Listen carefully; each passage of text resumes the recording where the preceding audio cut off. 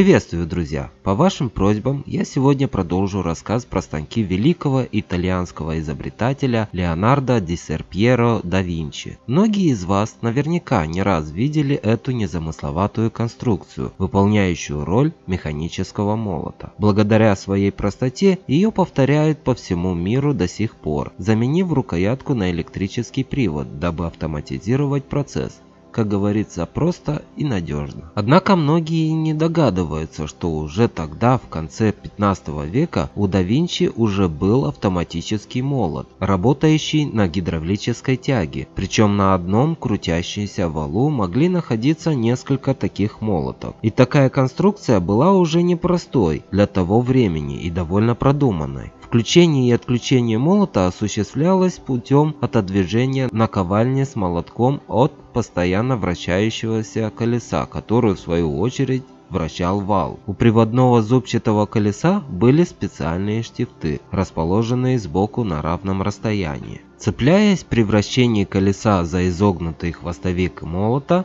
последний поднимался и одновременно создавал напряжение на пластину, выполняющее роль пружины. Затем Штифты проскакивали, и молот опускался на наковальню, а благодаря пружину удар усиливался в несколько раз. Таким образом, один оборот колеса создавал количество удара, соответствующее количеству штифтов. По-моему, это гениально.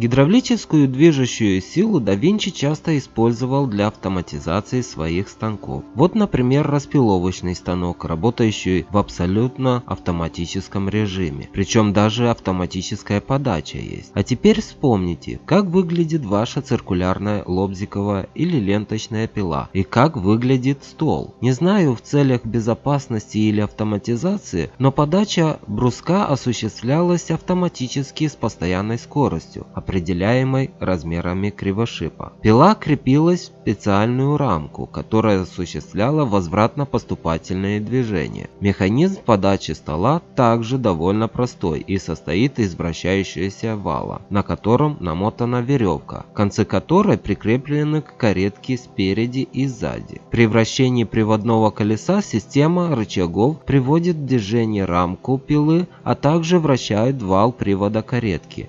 Все просто. Как вы знаете, да Винчи, кроме всех своих увлечений, любил познавать и невидимую открытым глазом материю. Для исследования макро- и микромира, а также для опытов с оптикой, ему нужны были линзы. Для их изготовления, и в частности для изготовления вогнутых линз, он изобрел вот такой станок, работающий по принципу шлифовки толстого стекла огромным камнем в водной среде. Станок изначально был механическим и приводился в движение рукояткой. Одновременно с раскручиванием шлифовального круга путем системы штифтовых шестеренок, крутящий момент передавался на расположенный перпендикулярно каменного круга столу, на котором и располагалась линза. В зависимости от требуемой кривизны линзы круги менялись в соответствии с их диаметрами, однако скорость вращения круга и стола была постоянной.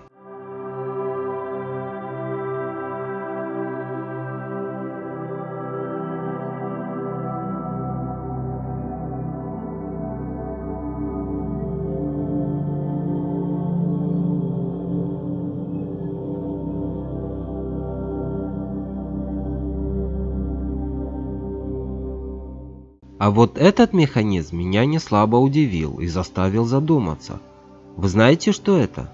Нет? Вот я тоже не мог себе представить, а ведь это трансмиссия, причем не простая, а четырехскоростная. Это как так можно придумать то, что даже близко не мог видеть нигде? Тут я комментировать не буду, просто посмотрите внимательно и напишите, как вы думаете, где могла использоваться данная трансмиссия. Спасибо за внимание, ну и пока.